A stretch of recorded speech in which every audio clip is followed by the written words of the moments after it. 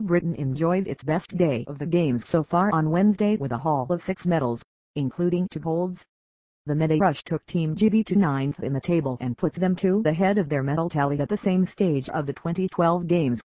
However, there was yet another fourth place in the pool, which leaves Team GB way out in front in the Heartbreak Stakes, with seven athletes having finished one place outside the medals. Here's how the action unfolded on day 5. Froome finishes third Chris Froome's underwhelming Olympics continued with the Tour de France winner having to settle for a bronze in the men's cycling individual time trial. He missed out on a medal in Saturday's road race and on Wednesday he struggled to master a 54.6 km course, finishing 1 minute and 2.12 seconds behind Fabian Cancellara of Switzerland. Holland's Tom Dumoulin took silver and Britain's Geraint Thomas finished ninth. I can't be disappointed, reflected the 31-year-old Froome. I'd love to have been in with a chance of gold. I gave it everything I had. I tried to hold back a little bit for the last lap knowing how hard the course was but I didn't have any more. Team GB shootout there was joy for one Briton and heartbreak for another as Steven Scott won the bronze medal shootout in the double trap shooting event against compatriot Tim Kneale. Scott scored a perfect 30, while Kneale could only manage 28, to leave the former delighted. I can't describe what this means, but I've worked my butt off, exclaimed Scott. In the gold medal match Fehaid Al-Deehani of Kuwait beat Italy's Marco Innocenti 26-24. Canoeing King Clarke Joe Clarke took a brilliant gold in the kayak K1 thanks to a nerveless final run. The 23-year-old from Staffordshire had qualified third fastest for the final but he saved his best for last posting the time of 88.53 seconds on the 250m whitewater course to take first place. Slovenia's Peter Kauzer, the favorite for gold, finished 0.17 seconds behind Clarke with Czech Yuri Prskavec taking bronze after incurring some penalties on his final run.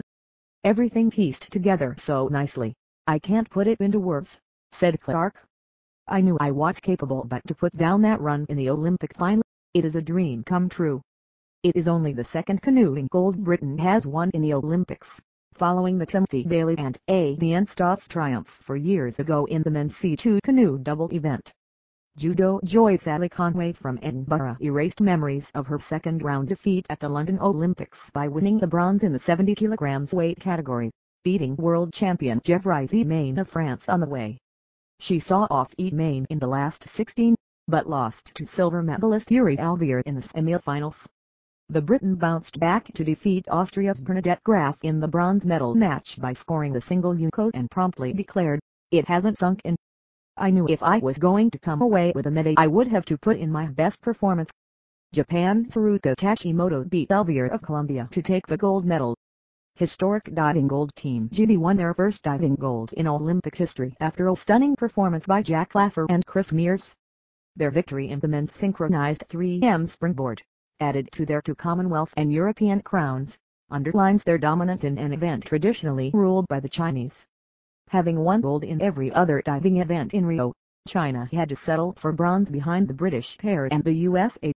It was a remarkable culmination in the life and career of the 23-year-old Mears, who as BBC Sport reports, was given the 5% chance of survival in January 2009 after contracting the rare Epstein-Barr virus ruptured spleen and the loss of five pints of blood left the reading diver in hospital for weeks and though he returned to diving in 2010 he failed to win the medal at the 2012 Olympics. After going through all that horrible experience, just making the 2012 Olympics in London was enough for me, he told the BBC. But we were in a different position at this games. We knew we could get medals here, we kind of thought we could get gold, but to actually get it is just incredible. Gymnastics glory Max Whitlock won Great Britain's first all-around gymnastics Olympic medal since Walter Tysall silver in 1908 after a superb display in Rio. The 23-year-old finished third behind Japan's Kohei Uchimura, the 2012 Olympic champion, and Ukraine's Oleg Verniaiev.